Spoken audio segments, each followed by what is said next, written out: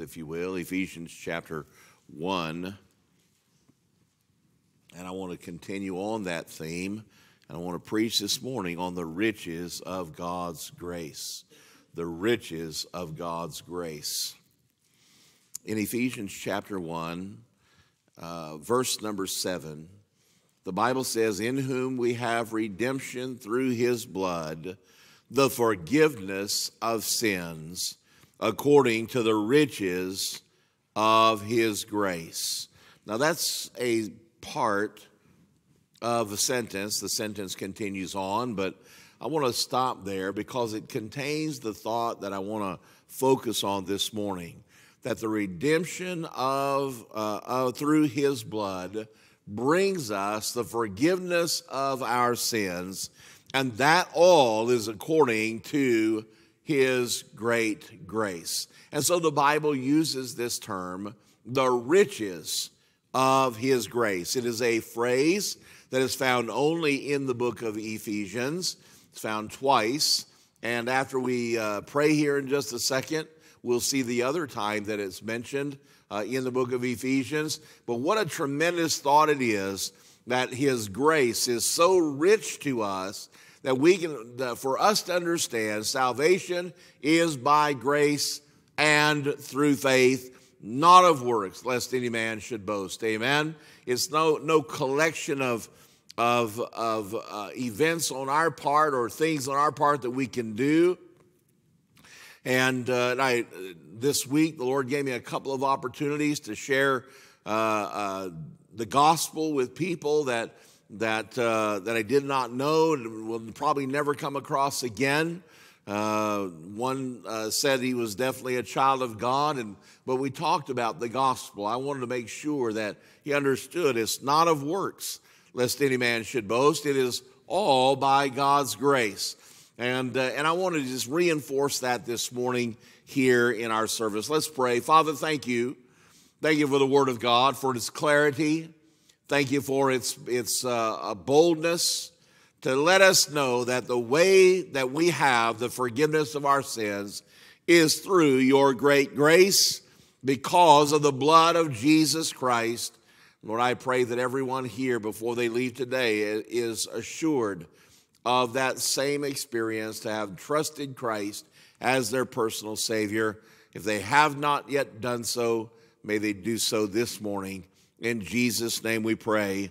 Amen. In Ephesians chapter 2, uh, beginning in verse number 1, I'll read a, a lengthier passage of scripture, but we'll find that same phrase again the riches of his grace. And in Ephesians 2 and verse 1, the Bible says, And you hath he quickened, who were dead in trespasses and sins.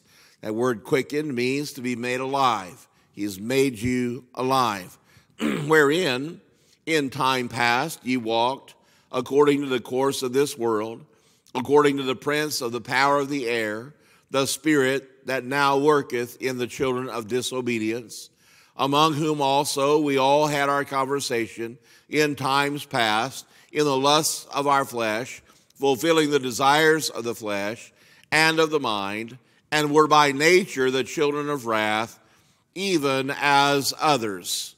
Now, in, in verses 2 and 3, the Bible describes us all as having been under the curse of sin.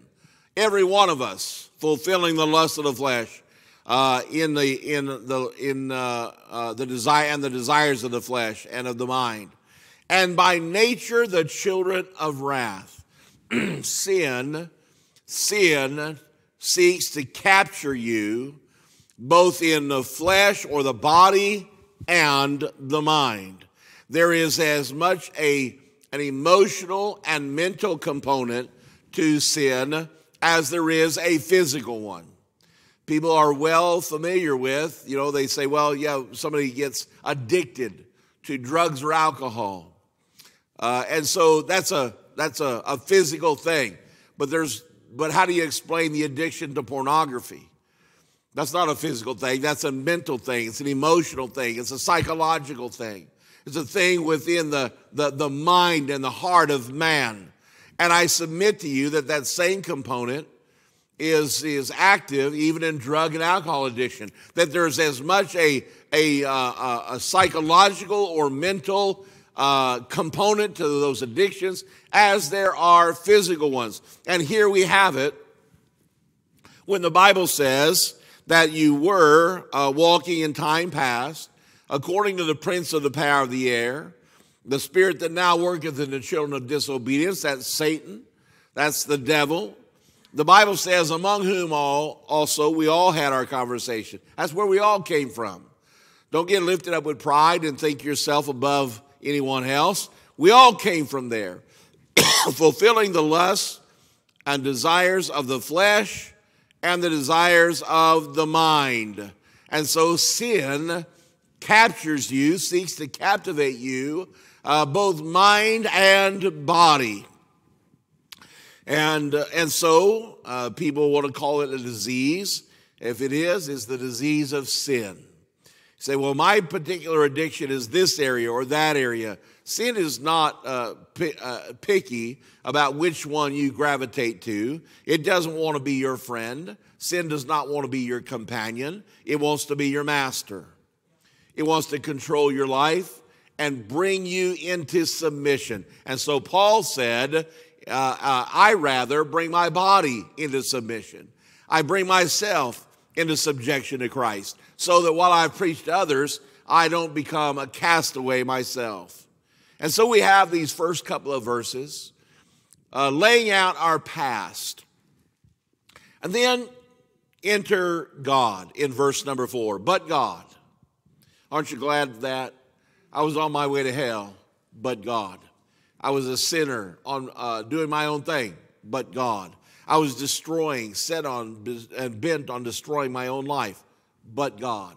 But God, who is rich in mercy, for his great love wherewith he loved us, even when we were dead in sins, hath quickened us together with Christ by grace ye are saved, and hath raised us up together, and made us to sit together in heavenly places in Christ Jesus, that in the ages to come he might show the exceeding riches of his grace in his kindness toward us through Christ Jesus.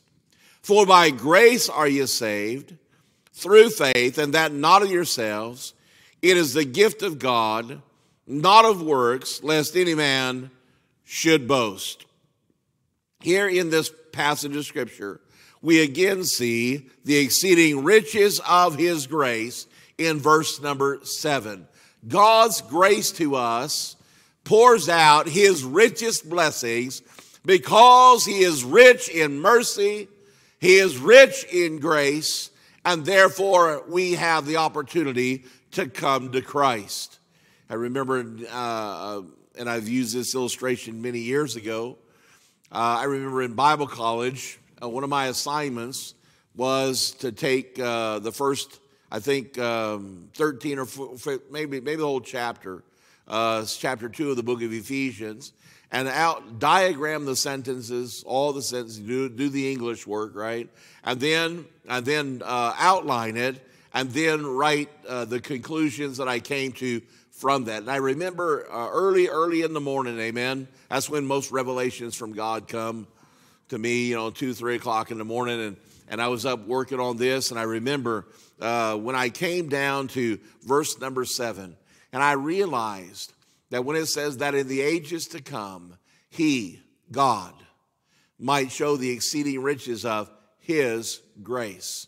How? In His kindness toward us through Christ Jesus. And it dawned on me, it came to me that God wanted to use what He's done in my life to showcase His great love and His great grace. That the transformation of my life, God desired it to be on display, not so that men would see me, but so that they might see Christ, what God has done. One of the greatest personal illustrations I can give you from that is uh, the reminder of my own personal testimony, how that I did not get saved till I was 21. And as a teenager, uh, though I was in church, though I was, you know, uh, supposed to be certain things, I did not live at all like a Christian. And there were those that, that were in church with me when I was a teenager that knew me from those days. Now, fast forward ahead, 21 years old, God saves my soul, calls me to preach a year later, and I enter the ministry uh, after going to Bible college. And some years pass by, and I get asked to speak at a revival meeting down in central Illinois. Uh, in a general area of where I grew up, not uh, about 50, 45, 50 miles away uh, from where I grew up. And I, I remember getting there, and I was a little bit taken back. I was a little bit surprised and shocked that there were many members of that church that uh, were in the same church I was in when I was a teenager. And uh, it was kind of like uh, uh, Jacob going back to face the past. And, uh, and I don't mind telling you, I was a little bit um, uncomfortable for a few moments. And, uh, and before the service, meeting up with all these folks, they say, Oh, we remember you when you were a teenager. We remember you growing up. And I knew what that meant. And it was true. The tr- thing is, you can argue against it, but it's true. And so I got up the first night of the revival meeting and I said, Boy, there's a lot of folks here that knew me growing up. And I said, I just want to testify that by the grace of God, I am not now the person I was then. And listen, what a uh, what a, an opportunity it was for me to live this passage of scripture that in the ages to come, and listen, from the time this was written, we're living in the ages that were to come. That's today. All of the time, from the time this was penned, from the, from, uh, uh, uh, from the first century of the church until now, it is the ages to come. And God wants to show His grace in His kindness toward us through Jesus Christ. Our life is to be visible and open to a lost and dying world so that they can see and say to themselves, uh, and the Holy Spirit of God say to them, if God can do that for them, what can He do for you? God wants His grace to be displayed. And it is said correctly the riches of His grace.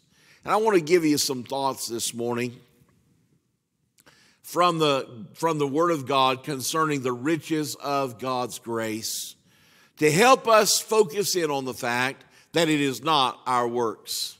It is not our, that, listen, if the change in me was what I did, then I get the credit.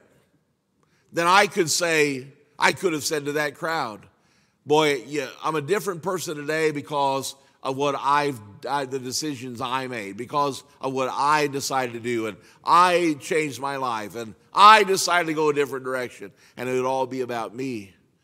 But the truth is, it's not. It's all about Christ. It's what He decided to do. It's what he, he has done in my life and continues to do in my life.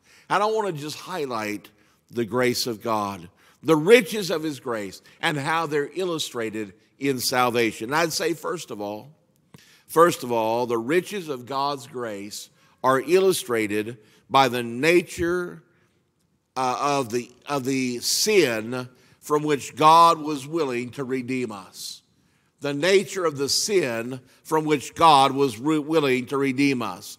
It is not misfortune that we suffered from. It was not circumstances that were our biggest problem. It was not our environment. It was not our misfortune. It was not those things. It was sin uh, that we were plagued with uh, from the first Adam until today. Men are born sinners and we are plagued with sin and all manner of sin. And I realize we classify some sin as more terrible than others. There is no greater sin than the sin of unbelief in the gospel. And that's what sends people to hell because they have not believed in the name of the only begotten Son of God. I was talking to a man a couple of days ago, and he was asking me, he's saying, okay, so salvation by grace through faith and, and uh, etc. But he said, what about the guy? He's in the middle of a jungle somewhere. He's never had a missionary. He's never heard the name of Christ. He's never had that opportunity. Will he, will God send him to hell? And, uh, and, you know, a lot of people are puzzled. A lot of people are troubled by that. But the truth of the matter is that the gospel goes into all the world. I believe this. I believe if someone is sincere and they want to know God, God reveals himself to them. I believe he makes himself known to them because they because that which may be known of God is clearly seen in that which is created. And so they're able to see the eternal power and godhood uh, of God the Father and, and understand the creative power of God and to seek Him out. And listen, God, we classify sins as some not as bad as others, but every sin is a sin that sent Jesus Christ to the cross. The most mild thing we could do still is a sin for which Jesus had to die to pay for. But I want you to understand that God is not, does not limit himself to saving only good people. He doesn't limit himself to saving only those guilty of minor infractions, but he has, he has set, set himself to save those to the uttermost, from the uttermost, someone said, to the guttermost. I mean, it doesn't matter what you've done. It doesn't matter what your sheet says. It doesn't matter what the report of your life is. It doesn't matter what other people have known you to be, uh, because the blood of Jesus Christ cleanses us from all sin. And I want to highlight the riches of God's grace by saying there is no sin uh, from which God will not save you. There is nothing uh, in your life that you can point to and say, Well, would God save somebody like me? And the answer is yes. Yes, He will. And I know, I do know the Bible talks about blaspheming the Holy Spirit. No, no uh, small thing. I heard, just when you think you've heard it all, I heard something this week. A guy was telling me, he says, I'm, I'm puzzled by this. There's this evidently, I, I, I mean, I don't live on, on YouTube and whatever. I, I don't care about cats playing pianos and, and I it just, it just it does not a, a big draw for me, amen. Um, but evidently, there's this thing that is becoming a, a craze among young adults, young people, teenagers, to make YouTube videos of them blaspheming the Holy Ghost. It has become, it has become a rite of passage. It has become the latest uh, TikTok type uh, moment of fame the, the latest fad, the latest craze uh, for young people to, to publicly on YouTube and TikTok to, say, to, to intentionally blaspheme the Holy Ghost. You say, why are they doing that? I have no idea. I haven't looked it up. I haven't searched it out. But somebody came and they said, what, What's going on with this? Just when you think you have heard everything, there's something that's beyond the pale. We, we, how can you not believe that we are in the days leading up to the coming of Christ. When it is a notable thing, a rite of passage in a so called Christian nation to publicly uh, put on for display blaspheming the Holy Ghost. But I'm here to say to you, you might think your life is so, so marred by sin that God could not possibly save you. But I want you to understand God's grace is rich because of the depth of sin that God will save us from. It's not beyond your control, but it is beyond your ability to solve or to resolve.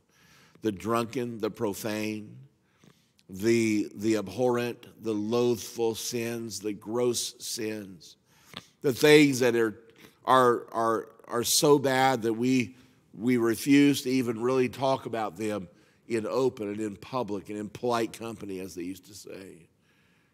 But the grace of God is so rich that there, it, it's, not, it's not a barrier to Him. It's not a barrier. I'd say also the riches of God's grace is illustrated by what God did to effect our redemption, by what He was willing to do to save us. The Bible says the wages of sin is death, but the gift of God is eternal life through Jesus Christ our Lord. As I was uh, this week having the opportunity to share Christ with a few different people, one guy said, Well, the way I see the fall is that, that Adam's sin caught God off guard. Like he didn't see that coming because it had never happened before. No one had ever sinned before. Nobody had ever disregarded the command of God before. And so he didn't see that coming. And it kind of caught him off guard. And, and I said, I said, no, that's not true. And I'll tell you why, but the truth is even better. You see, I know it's not true because that means that God is not omniscient. Because that means there's something that God didn't know was going to happen. And he said, Well, yeah, but until it happens, I said, No. I said, Do you believe in an, an omnipresent God? He said, Well, yes. That God, there's nowhere for God not to be, that God is everywhere at the same time. He said, Yes. I said, Do you believe that? How far do you believe that? He said, What do you mean? I said, Is God limited by space or time? He said, No. I said, Then if God is not limited by time, we, live, we are limited by time. We, it, is, it, is, it is the last day of April. I know it didn't look like it outside this morning. We had three inches of snow at our house. Here's just rain. Didn't look like April, but it is. Uh, it's almost May. Brother Antoine said, Hey, it's close enough. We're going to count it May. And I said, No, we're not there till we get there. Jesus might come. Amen. but uh, but I said, God is not limited by time or space. I said, that means this. That means there's no time which God is locked into. And he starts, his eyes kind of start rolling back in his head. And he's like, what are you, what are you saying? I'm saying God is still in the beginning and he's already at the end of the millennial reign. And he's here today as well. He is ever, I said, that's why he declares something to be so, and it is so because he's already there. And I said, and that's why he says, before Abraham was, I am. Because there's no time when God does not exist. He's still in eternity past, He's in eternity future, and He's in the present today. That means there's nothing that would ever happen that God did not know about because He's already there. He's like, I think my head's going to explode, he said. He said, I can't even imagine that. I can't even conceive of that. I said, No, but it's true. But I said, Adam's sin did not catch God off guard, even though it had never happened before. God does not learn by experience, we do. God, God is knowledge. God, he, he knows everything there is to know. But I said, the truth is even better. Because though God knew what man would do, he allowed it already having a remedy, and that remedy is the blood of Jesus Christ, his only begotten Son. That God went forward with the creation of man, knowing full well that to create man and put him in the garden would eventually bring about the need for the death of his son, Jesus Christ. Oh, the riches of his grace. If we knew something was going to cost us so dearly, would we not avoid it at all costs? Sure, we would. We would move heaven and earth as best of our ability to avoid paying such a high price. But such is the grace of God that even knowing what it would cost, he still, he still went forward and allowed man to disregard his command. I said, Oh, he knew. And yet, he still allowed man to, to, to sin, knowing what it would cost. Oh, listen, the riches of his grace are illustrated in what he was willing to do to effect our redemption. And then, let me say number three the conditions, uh, excuse me, the, the riches of God's grace are illustrated by the conditions on which God offers salvation. You think about this. We, sin is the greatest scourge on man. As, as a creative, uh, as, as created by God, sin is the greatest scourge or blackness or stain upon man. Would you agree with that? And it carries the greatest penalty, right? The wages of sin is death. And that death includes what the Bible describes in the book of uh, Revelation that death and hell are cast in the lake of fire. This is the second death to be separated from God for eternity in a place of torment. It is the greatest scourge upon man and the greatest penalty for that sin. And, and it could exact, and it exacts the greatest cost. There is, there is, since it is the greatest scourge, there is no price for anything to be paid other than paying for sin. So high that the only way for us to pay for it would be with our own eternal judgment. But Jesus Christ paid it for us. Why? So that God could offer it to us freely. So that God could say that it is by grace through faith, not of works, lest any man should boast so that he could say, Come without price, as the Bible says. Come without money. Come without barter and take of the water of life freely.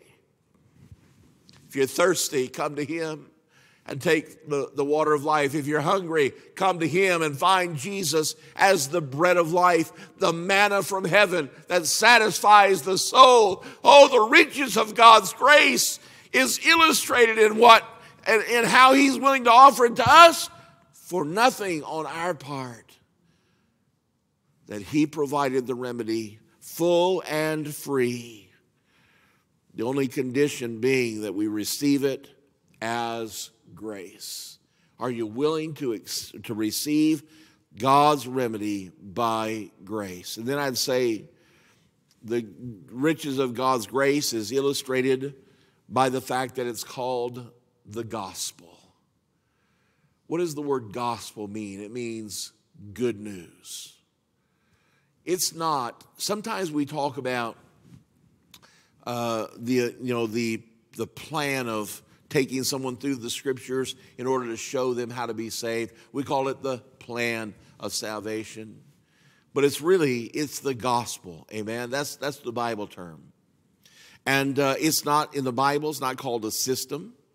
If it was a system, you'd have to master it in order to benefit from it. It's not a law, or else you'd have to obey it to claim the promise. It is the gospel, which means the good news. It's from it's the good news from heaven down to earth. It's the good news from God to man. It's the good news of the divine love, uh, which uh, um, which uh, which quenches uh, uh, the, the penalty of our sin. Good news of great redemption paid out for us. Good news that God, through Christ, is redeeming the world unto himself. Good news that uh, to us. And that the very fact that it's called the gospel illustrates the riches of his grace. Because there is, outside of that, there is not really any good news because all that is left outside of Christ is eternal judgment. So, the very fact that it's called the gospel, the death, burial, and resurrection of Christ, it's it's the, the, the message of the angels. I bring you good tidings of great joy. What is that? Well, if you have tons of money, you can pay your way out of hell. That's not good news for me. I don't have a lot of money. Well, if you're really especially talented, you can probably work your way out of. Well, that's not good news for me. I'm not especially talented in any way. You see, the reason it's called good news is, is because it's come. Whosoever will, let him come and take the water of life freely. For whosoever shall call upon the name of the Lord shall be saved. That's why it's good news. And then I'd say, number five, the riches of his grace are illustrated in the concern that God has shown for us concerning our salvation.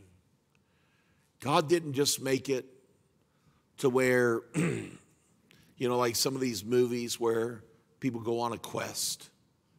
you know, they got to find either the shining city or the whatever it is, you know, the ring or whatever it is. You got to go on the quest. We don't really know where it is. We have to go search for it. Uh, there's clues along the way. There's things that, you know, that might shape our path. There's obstacles in the way. We have to overcome all these things, go on the quest, and finally, uh, by our own efforts, somehow we figure out the clues and we figure out the riddles and find our way to, you know, whatever it is. It's not. That salvation is not a quest.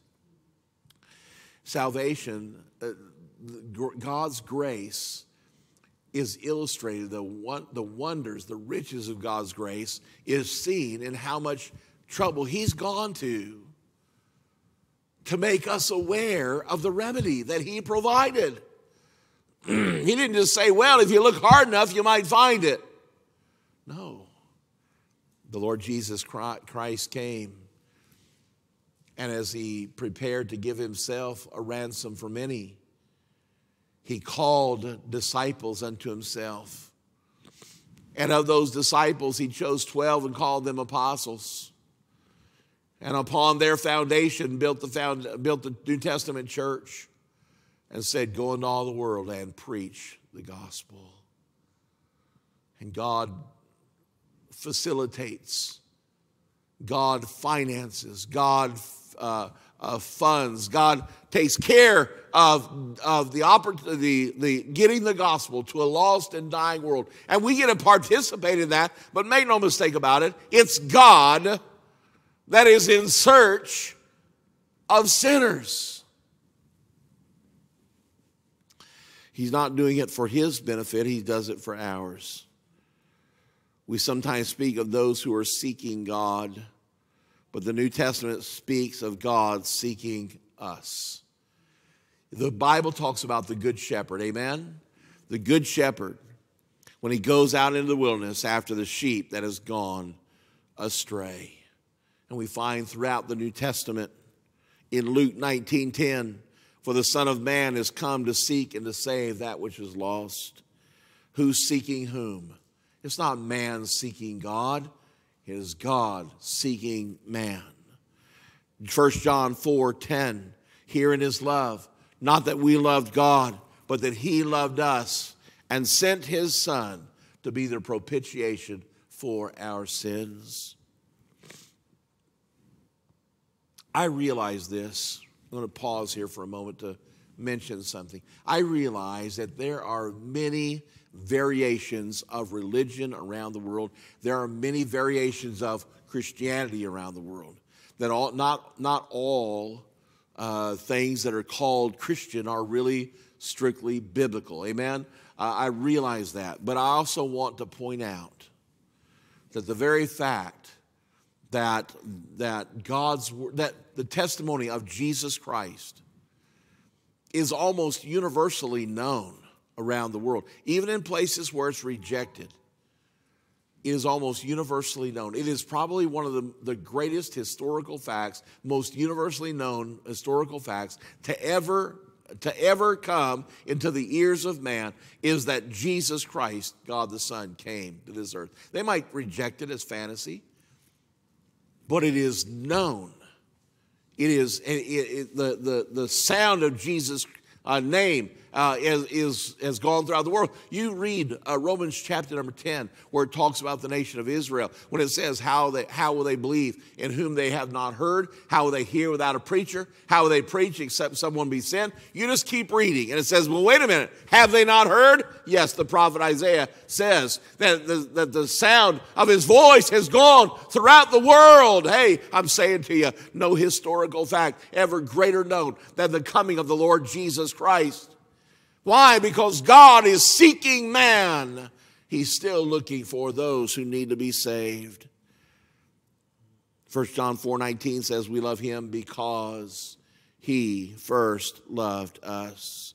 This is God's conduct toward us. It wasn't that any of us were looking for him. No, we were likely going our own way, doing our own thing when the gospel of Jesus Christ was brought to us. We were on our way to hell, not content with our life necessarily, but, but neither had the answer to remedy it. And then God. Remember just a moment ago in verse number four, some of the greatest, one of the greatest thoughts in that verse is where it says, but God. Because we were without hope, without help except for God. The riches of His grace. All of these five things and more illustrate that it is by grace through faith, not of works, lest any man should boast. And we know that because of the nature uh, of, from, from the sin that God is willing to save us from. We know it by what He has done to affect our salvation. Uh, we know it by the conditions that he offers it to us, freely given uh, to us if we will accept it by faith. We know it because it's called the good news. And the only way it's good news is if it's free. If, if it's already paid for, then it's good news. And then lastly, it's good news. It's the grace of God, and we know the, the riches of his grace because of what the lengths that God has gone to to get the world to the and uh, you look around the world i mean people openly openly recording for posterity blaspheming the holy ghost. Why does god not just rain fire and brimstone and burn this whole thing up? I'll tell you because of his love. Because of his love. That's the riches of god's grace if you're already saved, I hope today you are, you are once again uh, uh, enamored with the riches of God's grace and what He has done for you. If you're not saved, if you don't know Christ as your Savior, I want you to be, uh, uh I want it to be for, uh, just right in front of you, front and center, that all that God has done for you, He can do no more. He's made it available. He's, he's paid the price. He's sent his son, Jesus Christ. And the very fact that he has maintained Bible preaching churches for these 2,000 years, so there's somewhere, there's somebody taking the gospel to lost people, it is evidence to what, what it matters to God that you get saved. It matters to God. That's why it's the riches of his grace. And maybe just in closing, then, if you're saved, don't forget God wants to use your life, His goodness toward you, to show the riches of His grace. Let your testimony be a testimony of God's grace. Father, I pray that you would help us this morning as we have opened the Word of God and we have once again reminded ourselves of the richness of your grace. Lord, that we, in doing so, we have reminded ourselves of the great responsibility we have to a lost world. Lord, as we look around, we don't have to go uh, long distances. We don't have to go to foreign countries. Don't even have to learn a foreign language. Lord, we can just go out the door of our church and find people that need Jesus Christ. Lord, I pray that in all these things we might be reminded of the great grace that was shown to us. And Lord, most of all, also, if there are those here today that are not saved, that they might take this opportunity to accept Christ as Savior. What more could you have done than what you have? It is rich grace that brings our salvation. With our heads still bowed and our eyes still closed as we quietly stand to our